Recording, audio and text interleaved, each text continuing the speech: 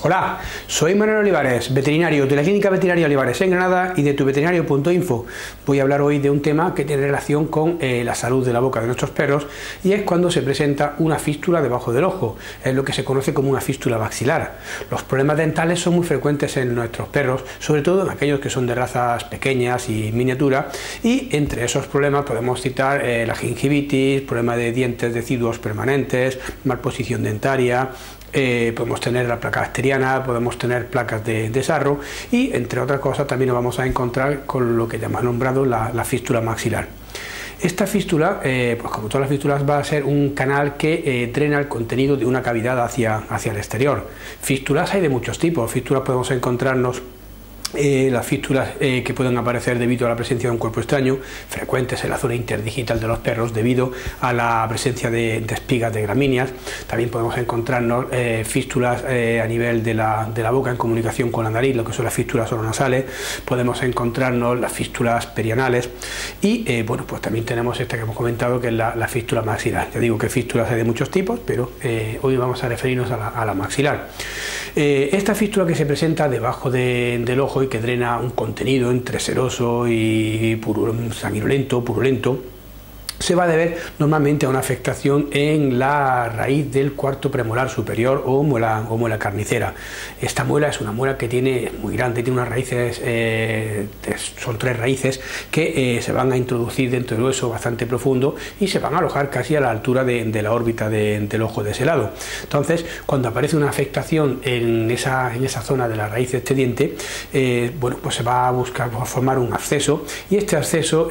bueno, pues en principio no vamos a notar porque se localiza dentro de, hueso, pero poco a poco ese acúmulo de pus va a ir buscando una salida y ya se va a afectar el tejido de ese hueso, se va a afectar la piel que está localizada justo debajo del ojo y esa piel se va a ir debilitando, va a adquirir una tonalidad primero rojiza y ya después violácea, se va a debilitar y al final acabará abriéndose y va a drenar esa, esa, bueno, pues ese líquido serosanguinolento o purulento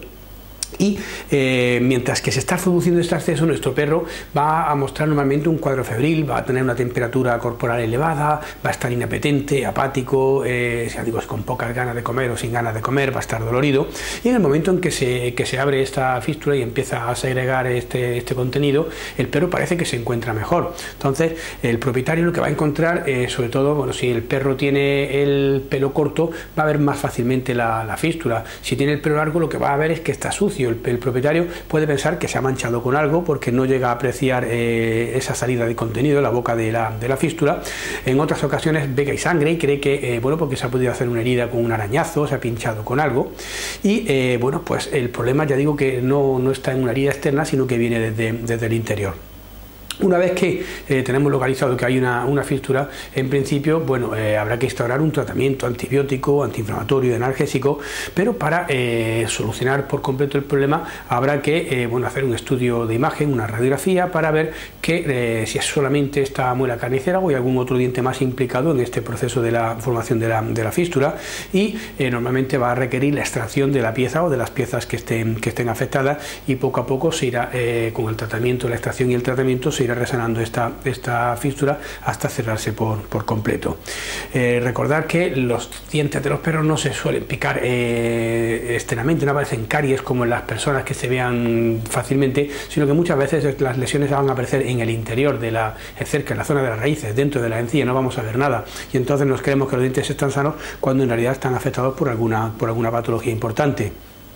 una vez que se ve y procede a extraer este, este, diente que está afectado, también ya sea a la misma vez se suele hacer una limpieza del resto de la boca, se resanan esas encías, debido a que, bueno, pues para poder prevenir que aparezcan más, problemas. la presencia, ya digo, de sarro y placa bacteriana es muy habitual, sobre todo, ya digo, en razas eh, pequeñas, y eh, un control periódico de la salud de la, de la boca va a ser muy importante. Esto se suele hacer en la clínica, pues cuando el perro viene a sus vacunaciones anuales o unas revisiones o por una consulta por cualquier otro motivo Eh, de todas formas, va a ser el veterinario el que viendo ese estado de la boca nos aconseje si nuestro perro requiere o no realizar una, una, limpieza, pero sí ya hay que estar desde pequeñitos eh, ayudando a prevenir este tipo de problemas,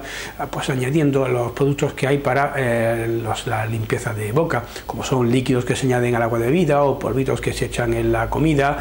pasta para cepillar los dientes, geles que se aplican en los dientes y en las encías, estas plaquitas que hay para, para masticar y con acción enzimática. Hay una serie de, ya digo, de productos a, bueno, por alcance de todos que eh, podemos utilizar para prevenir la aparición de las lesiones de, la boca. Es importante recordar que eh, los problemas de la boca no solo van a afectar a la boca, sino que muchas veces van a tener repercusiones eh, en otros órganos y que esas repercusiones incluso pueden ser mucho más, más graves para la salud de nuestro perro que la misma, el mismo problema que, que está en la boca. Entonces, la prevención es muy importante y, bueno, si se presenta el problema, pues habrá que tratarlo como hemos comentado. Pues otro que quería comentaros acerca de este tema. De todas formas, sabéis que si hay cualquier duda sobre esto o cualquier otro relacionado con la salud y cuidado de los animales, podéis contactar con nosotros a través del teléfono de consulta que aparece en nuestra página www.tuveterinario.info y ahí estaremos encantados de solucionarlas. Bueno, pues espero que el vídeo sea de vuestro interés y nos vemos en el siguiente. Hasta pronto.